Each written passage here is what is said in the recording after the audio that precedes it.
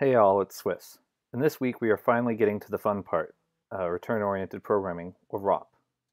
So what ROP is, is it's when you take your overflow and rather than jump to just one specific function, you jump to specific places in the program so that you can set up the stack the way you want so that you can execute other functions uh, in ways that those functions weren't necessarily intended to be used in that program.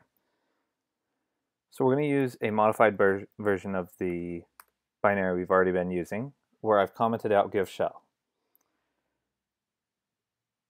So we're going to have to be doing something called return to libc. Uh, for this one, to keep it simple, I've included libc in the local directory, um, but we're still going to have to figure out where it is in the program. So we're going to leak that by doing a ROP to puts with the address of puts in the global offset table. Uh, if we check out the exploit, you can see I load in the libc as another elf so that I can reference it. Um, I receive a line, I send a line where I tell it to go back to main, and then I'm going to try receiving again. So if we run that, uh, debug lets me get all this extra data. We can see that I sent these bytes and I received bytes and then it says give me some text. So we, we can see our, and then if we give it more text, you know, it echoes it back out. Um, so we can see that that's where our buffer overflow is working. Uh, so now let's start talking about the ROP. So we'll import Pwn Tools. We're going to set up the exe.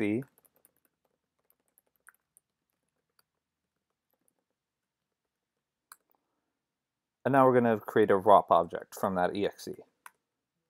So within that ROP object, there's a bunch of stuff. Uh, but the things that matter here are around the gadgets and raw and then a couple of the others. Uh, first, let's talk about gadgets. So the way that we've traditionally worked through ROP is you go through and you find the gadgets you need, like pop RDI return, which is in here somewhere. Um, and then you use those gadgets to set up the stack. So say you wanted to find pop RDI return, you would do find gadget, uh, the array pop RDI return, and it would give you that gadget. So assign that to this g dot address. We can tell where that gadget is. Now you could of course build this by doing, you know, either a fit where you put in I want 136 to be g dot address, uh, and then you know 148, you know, et cetera, et cetera. You could you could do it that way. Um, you could also do it with flat. You know, first thing is I want that gadget, uh, followed by what I want in that gadget space. And you could be putting that in to the ROP. You could also say, you know, r.raw, g.address, r.raw, 0x deadbeef. And then when we check out what the ROP looks like, look like that. And if we did r.dump, it would show us what it's doing. But that's that's really the hard way to work with it. I'd never do ROP that way anymore. Now what I do is I use r.call. So now say we want to call puts and print out the address of puts from the global offset table. I'll do r.call exe sim puts with exe.got.puts. And then say I want to go back to main after that, I could do r.call exe.sim.main. Now when we check out that r.dump, it automatically did that pop RDI return, gave it the address of the global offset table, which we could see exe.got.puts.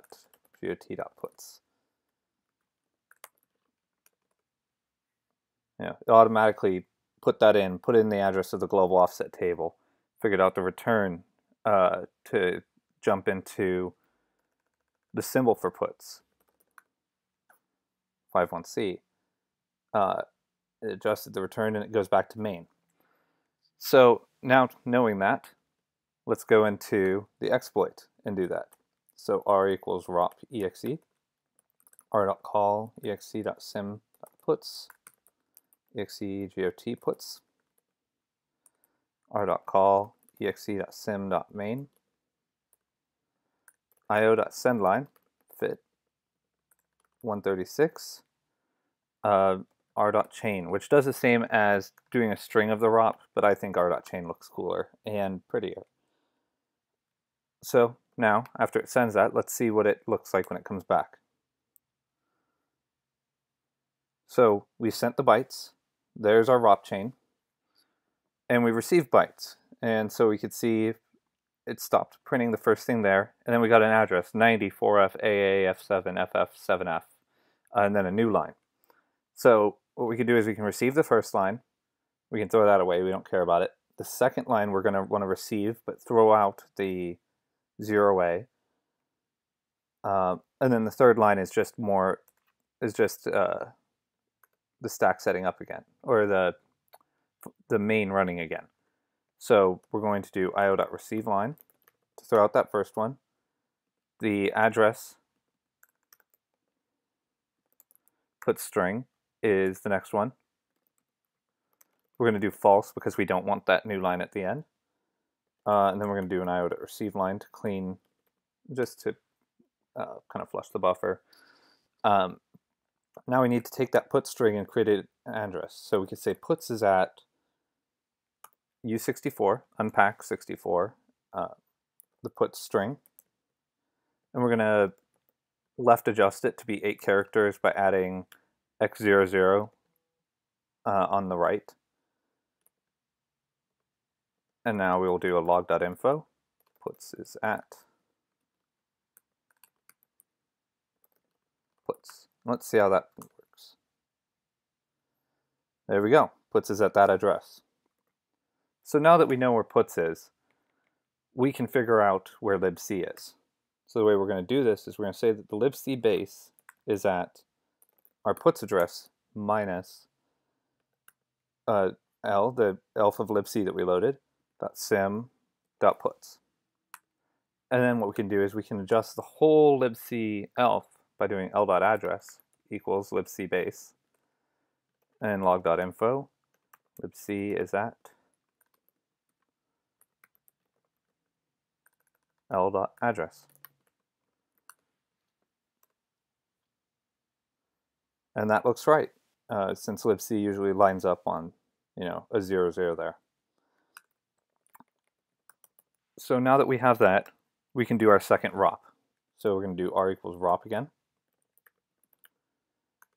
Uh, and what we're going to need for it is we're going to need the system symbol from, from libc, and we're going to need binsh, which is also in libc. So first we need that system symbol. So system equals l.sim.system, pretty easy.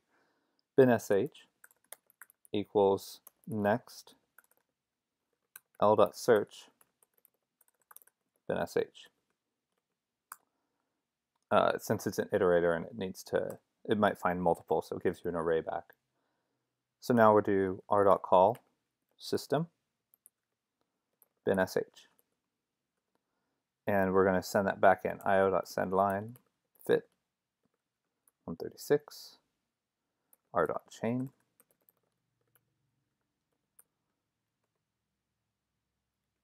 And let's try that. And we have a shell. So now let's try that remote.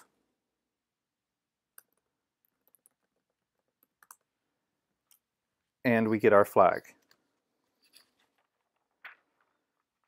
So that's that's all for this video. Uh, I hope you guys have enjoyed it and learned something. Next week I'll probably be doing a bit of a lighter lesson on how to keep your exploits looking pretty, um, some of the UI stuff.